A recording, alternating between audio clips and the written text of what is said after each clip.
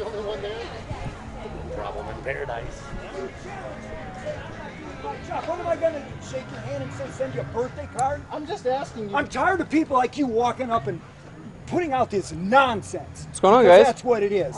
Uh, this guy says I'm not doing my job and he's Okay. lecturing me on the Why why don't you go ahead and just... Why don't you take a hike, Just move along. liberal? Thank you. Nuttard. Thank you so Yeah, go ahead. And don't vote for me. much. Nuttard. Because you didn't. Nuttard. Yeah, you're a liberal nut.